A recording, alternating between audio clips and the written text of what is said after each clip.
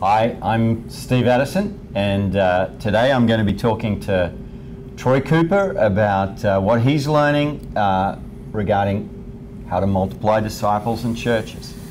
So, Troy, how did, how did you get into this whole area of, um, I guess, movements that, that see new disciples, new churches formed? What, what's, how'd you, how'd you step into it? Well, I was serving as an associate pastor at a church for about 12 years. And for 10 of those 12 years, I was mentored in movement principles by a missionary named Steve, who our church supported. Okay. And Steve had catalyzed movements in Asia in a closed country. And uh, every time he was home, he would just pour into me uh, these principles, and we would meet over Skype. We called it discipleship. And um, so I'm, I'm, I'm taking all this in and, and beginning to, to think movement, uh, but I just I didn't see it really translating into our context in the U.S. I'm like, well, that'll be great one day when I go overseas, but Okay. uh, I don't know of anybody doing this kind of thing in the U.S. and uh, so I, I didn't really put it into practice at all. So, what moved you from getting the ideas and sort of grounding it in, in every day? Yeah. Well, I went on a missions trip in 2011 and with him and saw movement with my own eyes. I saw lives transformed, I saw whole households, villages transformed, and I saw what was going on being led by local leaders that had been raised up from the movement. And it blew my mind. I mean, it, it brought me to a, a point of worship where I was just celebrating mm. what God was doing. But as I'm looking back on our 12 years of ministry, what I saw brought me to a point of deep conviction that I was disobeying Jesus' Great Commission because we had almost zero impact on lostness. Uh, we were seeing uh, people grow in their faith and, and grow in Christ and stay in their faith after high school and college, but we were hardly seeing anybody come to Christ. And so I felt like, man, I'm disobeying the Great Commission. And what really crushed me was the students and their families that were following me were disobeying Jesus because they're following me. So I, I just repented and cried out to the Lord, and he, he forgave me and instructed me to just go do what you know to do now. So, what did that look like when Yeah. you went and did what you're supposed, Yeah. what you knew to do? Well, I went I went back to Indianapolis, our home, and just began to uh, put into practice what I knew. I had no idea what I was doing, uh, but I think up to that point I had been building relationships with people, uh, but I I needed to get to the gospel was the bottom line. So, you had a lot of connects Yeah. with all sorts of people who were far from God, Yeah. but you weren't getting to the gospel. That's right. So, how did that change? Well, I just started getting to the gospel with people. Um, with starting with some neighbors, uh, we began looking at the Bible together and and really um, taking them to the gospel, and we saw immediate fruit. We saw two couples that had adultery in their marriages uh, come to faith and reconcile, and so we saw something start in our neighborhood. Well, how did you jump from I'm not really doing this stuff, and all of a sudden you've got people who have come to Christ and you're in the Bible? How did you get from, you know, how are you today to Yeah. do you want to read the Bible together? Yeah. Well, um, well, I had the relationships already there. We Okay. started with people that we knew. Yep. and so the relationships were there and um, and one day i literally just said hey would you be interested in studying the bible? And they Okay. said yes. At the time we didn't have a uh, a gospel tool outside of looking at the bible together. So we just invited uh, i actually read a statistic uh, in ed stetzer's book lost and found that 61% of lost people who wouldn't go to church would study the bible with a friend. And actually, if you read it further, 89% who wouldn't go to church would listen to somebody tell them about their faith. And, So- and did you do this in in the couple's home or in your home? Well, we did we did it in our home. We were hanging out with people, and I said, "Hey, I heard this stat. Are you guys? You don't go to church? Would you be interested in studying the Bible?" And they're like, "Yeah." I'm like, "Really?" And uh, I said, "Well, when would you guys want to do it?" They're like, "It was a Tuesday." They're like, "Thursday." So um, we had 14 people in our living room two days later, and half of them I didn't know, and and my wife and I looked at each other like, "What are we doing?" And so, um, but God used it, and we saw people come to Christ, and we began to see it multiply. We didn't have a vision for church, you know, it was it was still a group at that time, but um, God began to multiply the kingdom through those families in our neighborhood. Okay, what was the next sort of step or stage in, in your journey towards movements? Well, I think outside of the neighborhood, I began to see. I was I was a student pastor and discipleship pastor, so I saw students begin to multiply. I mean, we had one guy that saw fourth generation disciples starting with his cross country team within um, a couple months. So generation is like a, a new disciple has led someone disciple, to Christ. Made a disciple. They had discipleship groups meeting. They were worshiping to Lecrae. You know, it was it was awesome. It was just multiplying all over. Uh, we saw. I, I, taught a parenting class, and I just started to train them how to make disciples. I saw one woman um, multiply to three generations, uh, starting with her family and a neighbor, a friend, and a neighbor, and her husband led a bunch of guys from a fire department to Christ, and uh, and then uh, was um, started just training anybody that would be interested. That was So it. Just started you're training not just doing this, but you're training Oh, yeah. people as you're learning the simple skills Oh, of yeah. how to connect, share the gospel, and then sit down and read the Bible with people right. who want to know more. That's right. And um, How to disciple the fruit. You know, how do you begin discipling people who come to faith and, and try to push into their oikos or their sphere of influence? their oikos, their relational network. Uh-huh, that's okay. right. So you're you're sort of applying now all these principles that were floating around in your head. Yeah. Fi- I, I imagine Steve, your friend in in uh, Southeast Asia, is thinking, finally, after ten years, he's doing something. Well, it's funny because you invest in the obedient, and I wasn't doing anything, but the Lord told him in a dream to invest in me, and so that's the only reason He persisted Wow. with me. And I know Steve, so it's a miracle he persisted without know, you doing I anything. okay, so now stuff's happening. You're seeing Yeah. not just someone praying a prayer, you're seeing people turning to Christ, getting forgiven. I guess you're baptizing them, Mm-hmm. and they're going into discipleship straight away. Yeah. And the gospel's moving through relational networks. That's right. Okay. Was there a next stage in your whole journey? Yeah, I think at that point I discovered um, that I was an apostolic, you know, little a, apostolic leader that was stuck in a shepherding role. Okay. And um, the Lord transitioned us into more of a full time catalytic role. So uh, we ended up um, accepting an invitation to go serve in Japan for a year and train some Japanese churches and some missionaries there. A guy named David Cervenka, who's, who's catalyzing movement in Tokyo now. Um, and we saw, we didn't see churches multiply, but we saw disciples multiply in Japan. Wow. And uh, so it just confirmed in us okay, this is something, God, your harvest is, uh, this is true. The harvest is plentiful, the laborers are few, uh, and it's a matter of just releasing the kingdom and obeying what Jesus said, told us to do. Okay. So, So you went to Japan, and then, and again, so in a cross-cultural setting and a very hard field. Yeah. Japan historically is tough. Yeah. You're seeing it happen. Next stage in the journey. What was next? Well, while we're in Japan, the Lord really, um, uh, two things really happened. Number one was He told us, He showed us that He wanted to use the whole family.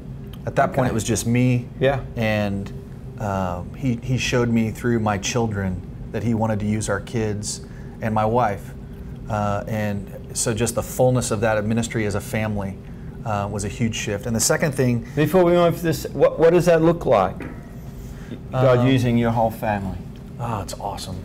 Give, give us an example. Um, well, I mean, the easiest thing is to tell you how it started. Okay. Yeah. um, because it wasn't my plan. Mm-hmm. Um, my wife, I was supposed to go on a prayer walk, and um, and my wife's like, "Hey, why don't you take the kids with you?" And I'm, I'm like, "I'm doing really important things here for God, like uh, childcare, really."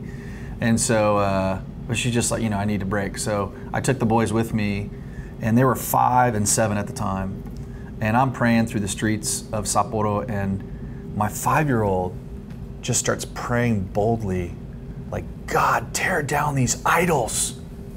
And I'd never prayed those words before. Hmm. And so I realized the Holy Spirit is speaking through him. Hmm. And I, the identity I, I was casting for them was that God couldn't use them. Hmm. And so I was withholding that from them. And the Holy Spirit was teaching me, like, hey, you're holding them back. Like, I want to use them. Like, I'm in them. I want to use them. And I thought, man, these guys are actually going to Japanese school with, so they know these kids. And so I just began to learn. And then we would move back to Indianapolis. I was doing a training, and I had my nine year old and my seven year old with me. And um, we would send people out for practice and to go share the gospel. And they're like, Dad, we want to go share. Nine and seven. Nine and seven. I'm Okay. like, I'm like, no, you guys are gonna like go start a cult or something. Like you're gonna get it wrong. Like I just, I couldn't see God using them in that way, and I didn't want to mess it up. And and they're like, Dad, we have to obey Jesus. I'm just like, oh, okay. So, I mean, so we go out and uh, we went to like a food court at a mall because it's like they're sitting ducks there, so it's easy to do like gospel engagement practice. So we go up to two people that rejected them, and we get to the third person, and it's this this woman who's just finished her food. She's got two small children, and I'm thinking like, let's let this poor woman, you know, leave her alone. And and Malachi, my seven year old, or yeah, seven year old goes, Dad, we have to share with all, not some. I'm like, which I had just taught 30 minutes before. And um, so he starts up a gospel conversation with her. You know, just says, Hi, I'm Malachi, and uh, we're out talking to people about God. You have a couple minutes? And she said, I have been waiting for somebody to talk to me. Oh my. So he sits down and thinks it's normal and runs through the gospel with her, and she repents and believes. And he's seven. Yeah, he was seven. He looked up to me. He goes, "What do I do now, Dad?" You know, and it's, it's I'm just marveling at how God is using him, and so it just confirmed in me, like like I withholding their identity as Yeah. an ambassador of Jesus, and so he had to teach me, that. and then we just had to slowly just start. You know, we're, we're applying what we learned and, and making disciples with our kids, and God So you started to use them. Visiting in the community in your neighborhood, and you just go as a family. That's right. Yeah, we'll go on prayer walks, and sometimes you know with the little ones they can't go as long. Yeah.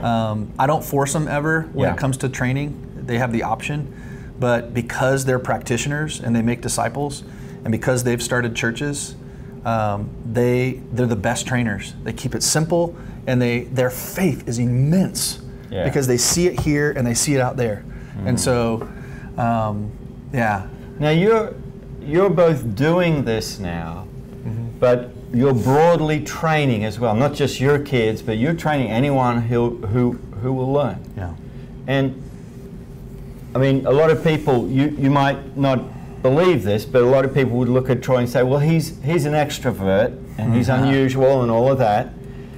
Um, are you seeing the same sort of patterns just when you know ordinary folks who don't even feel like they can do these things, and you train them? Do you do you see God using them as well? well, absolutely. Okay. Um, I mean, I think we see people obeying Jesus where they're at. And um, like we saw one guy recently who came to a, a training. We live in South Florida now. God moved us there. Mm. He came to a training and um, just a real shy, introverted guy. And um, he was actually planning on skipping the evangelism practice time I've been there. and uh, but when he went out, you know, we're we go out in the harvest and we will never force somebody to do something. It's got to be obedience to Jesus. But we find it really help. Like Jesus modeled for people. He would, you know, he would go out and engage uh, homes, and then he would send them out and have them go, you know, themselves, and then debrief with them. So we do that. We model for people. Uh, we practice, and then we'll take them out in the harvest and model for them in the harvest, and then give them an opportunity to do it themselves. Well, this guy Evan, um, you know, he was shy, he was timid, but he he goes out there and he sees it modeled, then he does it himself. He just discovers the joy of obedience, and he actually literally stopped the guy on his bicycle to tell this guy about Jesus. Um, so I yeah, I've seen people who are introverted or shy or maybe feel like they're not, um, you know, the guy that can get up in front of a thousand people, um, just radically obey Jesus and discover the joy in that. People of all ages, all backgrounds. So I'm just thinking, you know, our, our audience says amongst them will be church planters or uh, e- existing church pastors, or they've planted in the past and they're wanting to send folks out to plant again. They want to equip the people in their existing church to do this. Yeah. So as you've sort of gone this journey, Yeah. what are you? Where do you need to get started? What are some of the essential skills that that every leader should be aiming to master, Uh-huh. and then to be able to train and release their people in, whether they're Yeah. pastoring an existing church or out there church planting? Yeah. What What are just some of the the, the essentials? Yeah. Well, again, I, I observe these in my children, but I'd say it, all, it starts with a deep abiding in Jesus. Mm-hmm. That they're spending time in the Word, they're spending time in prayer, they have uh, the Father's heart um, for the community, and God begins to expand their vision for what He wants to do, and um, that's the power. That's I mean, just having the power of, of God's Spirit and His Word. Um, so it starts with abiding, and then I think one of the biggest challenges, if 98% of Christians in the U.S. don't share their faith, um, that's really where it starts. Is um, kind of like where I was stuck was I had all these relationships with people, so I was connecting, but I wasn't getting to the gospel. And I feel like sometimes we feel like we got to earn the right to share the gospel with people, but when we look at the scriptures, we don't see that. We see that they were out boldly sowing broadly. And I'm not an evangelist, Steve. I, I am. Uh, um, I have an, an apostolic gifting, but I'm not an evangelist. It's a lordship thing for me to obey. And so I found having others come with me that are more evangelistic was really helpful. Okay, kind so a good way to get started is just say, let's. I'd like to. I like to hang out with somebody who's just Absolutely, used to doing this, absolutely. and and and just I'll, I'll go along and smile and pray. Yeah, Uh, that's literally what and I that, did. yeah, and then that also I, helps. I picked one of these crazy evangelist guys that's like he shares with everybody, and I'm like, oh please, not here. You know, my buddy Austin in Indianapolis, he he took me out, and it uh, I just watched what he did, and it was really uncomfortable for me, but it um, it gave me the um, uh, I, I felt more competent and confident to go engage, and um, and yeah, now I've got my kids obviously, so Okay, and they're going to need to learn just how to share a simple gospel outline. I think how to start a gospel conversation is probably one of the biggest challenges. Is how do you, you know, once people can get to the gospel. Give, give us an example of how you would Okay. start a gospel yeah, conversation. um, I found this works among believers and or people you know and people that you don't know. Mm-hmm. Uh, my buddy Carter Cox came up with this, and it's just a simple question: Has anyone shared the gospel with you before? Okay, okay. And 100% of the time, uh, people are will respond. And so, like, let me practice with you. Yeah. Hi, Steve. Yeah, we've known each other for a while, and um, I just want to know: Has anyone ever shared the gospel with you before? I don't think so. Okay. Would you mind if I showed you a simple way? Sure. How, how long will it take? Oh, just a couple of minutes. Sure. And so then, Then you share. decide. We use a a one a tool called the three circles. Yeah. Um, but then if, like, say say um, yes that you've heard it already. Yeah, I've heard it already.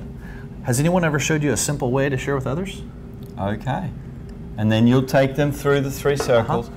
and that will help them understand what the gospel is, even if they they think they know it, but they're not quite sure. That's right. Okay. So, how to start the conversation, how to share a simple gospel presentation that's biblical so God can use it, but simple so it can reproduce. You know, like we see in John 4, the woman at the well immediately goes back to her Mm-hmm. town. The demoniac in Mark 5, Jesus sends him back, right? So, we see examples of scripture, these people that immediately after following Jesus, God uses them to reach their community. So, we want it to be simple. But then after that, too, I think the follow up, like what do you do once somebody says they want to follow Jesus? Like, I, I don't know about you, but there's been times You take them to the pastor or the, right. the church Yes. service or whatever. Yeah, You- I remember- pass that problem on. One time I was uh, in college and, and I got to lead a guy to Christ on a construction site. I was working a summer job, and uh, um, he, he's you know he's looking at me like, "What do I do now?" And I'm like, "I have no idea. I can't believe I just shared with you, let alone you believed." So I like, got him a big old Bible with his name on it, and I like, "Hey, good luck. Go find a church," you know. And so I, I didn't know what to do, and so having people know when somebody, how- you know, there's several responses to the gospel that they know exactly what to do. You know, if they say no, if they say, mm, I'm, I'm kind of interested, uh, or if they say, yeah, I'm interested. So what? Okay, so you'll you're training people in just simple ways to share the gospel, how to bridge into the gospel with people they know, people they don't know, Yeah, and you're also making sure that they know what to do next. That's right. So if it's, uh, I guess we say a red light, yeah. what what happens? Ah, that's good. So in Acts 17, when Paul's at the Areopagus, um, it's, we see three responses. Uh, it said others. Uh, some said some mocked. That's a red light. They reject the gospel. Some said, "We'll hear you again about this." That's a yellow light. And so they're like, "Ah, I'm kind of interested, but I'm not ready to follow." And we usually invite them to Discovery Bible Study. And then it says in verse 34, but some uh, joined him and believed. That's a green light. And so we immediately uh, begin discipleship with them, starting with, we, we take them to 2 Corinthians 5, 17 to 21, and just set their identity. Say, look at verse 17, you're new. No matter what you've done or has been done to you, you're new. Now look at verse 21. It's because of Jesus' exchange. He traded all your sin for his righteousness. That's how you're made new. And the reason why is because he's on mission and you're now his ambassador. So we set that identity in Christ that they're an ambassador, and we immediately ask them, who in your life needs to hear this? And so we get them thinking, oh, okay, people in my life, yeah. And, and then we'll have them practice sharing the gospel and then set up a time to meet. So you're training a brand new believer right. how to share That's with right. their friends and family. That's right. It's the, first thing to have them. The first thing after they've turned right. to Christ. Because we want to see obedience to Jesus. And they've already seen the gospel share modeled because we just did it with them, right? And so that's an easy thing to have them obey. And we see biblical examples of believers right away going. So we, we have them practice and then we'll set up a time. We found that within the first 48 hours is important of, you know, when can we get together? uh, On the, and we're shooting to, to meet in their area, you know, their home, their, their place of, of where they're hanging out. When can we get together? Or where can we get together? When can we get together in the next two days? And then lastly, who else do you want to invite?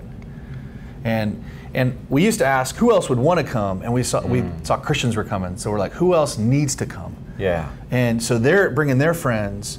And uh, my wife, this happened with my wife. She there was a, a waitress that we were um, was prayed for by some friends of ours who were visiting. They just said, "How can we pray for you?" Um, and she uh, they prayed for her, shared the gospel, and she was a yellow light. So they set up a time to meet with my wife, and my wife um, and she brought a friend, and they both repented and believed. Both were baptized, and they started a church, um, and they chose to meet in in his home. So Wow. yeah, So this is what both what you're doing and training others to do, Mm-hmm. and um, so if if someone's sort of thinking, well, guys, you just treetop this, you know, Mm. you just I, I'm writing it down, but I'm just getting little bits here and there. Yeah. Um, where where can they go Mm. just to, to to make sure? Okay, we know enough and can do this ourselves. Mm. Now we can begin training and mobilizing others on our team. Yeah. So what's what's the best the best place to go get that? as far as a, uh, a place to, of contact, Yeah, Yeah. to get some further training. I mean, Um, we've just treetopped yeah. this. highly recommend movements.net. It's a great blog. Okay, Um, sure. for as far as resources. But I mean, us personally, coopersonamission.com. Yeah. Uh, we've got resources there and uh, training schedule. Um, and then uh, No Place Left is, is the network, the broad network we're a part of. So there's a website, noplaceleft.net. Okay, noplaceleft.net. Mm-hmm. So you're training, but you have a whole network across the U.S. I'm, I'm And more, yeah, I'm more Canada, Britain, yeah, right. and Canada. Milton okay. Dick. Yep. Um, so if, if someone's listening to this and they feel like, wow, this is this is what I want to do and train my people to do, land in those places, and um, okay, let's let's just finish with one last thing. I'm going to jump. We've sort of talked about really the the ground level, the Mm-hmm. entry level, and a movement. If, if you don't do it at that level, you'll never see movement. Everybody needs to know what to do on Monday morning. Mm-hmm. right. But what is in your heart as we dive in and, and just do these things and train others? What do you think? What does it look like when there's no place left across across the U.S.? You know, what what's on your heart for that? Um, well, Malachi 111 um, is a vision verse that was passed on to me from my mentor, where uh, uh, God said that my name will be great among the nations, and in every place, incense worshipers will be raised up, for my name will be great among the nations. And so I think that's a promise that we're clinging to. That God, God's going to be, Jesus is going to be worshipped everywhere. It's something that He is doing. And so as we've stepped out in obedience, we're watching Him transform lives and uh, and then neighborhoods and then cities. And so when you start to see that happen, um, it, it, it fills your heart with a passion to see God's glory multiplied as His kingdom expands. And so then you got to look up, you know, at uh, other cities, and we're starting to look at where are the gaps at. You know, where there's tons of unreached people groups and tons of lostness here in our in our in North America. And so um, we're praying that God will lead us to people that He's stirring in their hearts for movement. And uh, then we come in and, and we serve them with training and we, we pray for them. We learn from what God's doing through them. So I think what's in my heart is I'm rejoicing at what I'm seeing God doing, but then when I look up and see in other cities, it's like uh, my heart's breaking and I, I want to see God move there. And uh, I believe that the people He wants to use are there. Mm. And I believe a lot of them don't yet know Jesus, and we need to get the gospel to them train them up. Well, Troy, thanks for sharing your mm. story with us. Uh, I think a lot of us can identify on the journey you've been on, mm. and we can rejoice at what God has mm. done. So thank you very much. Thanks, Steve. Appreciate it.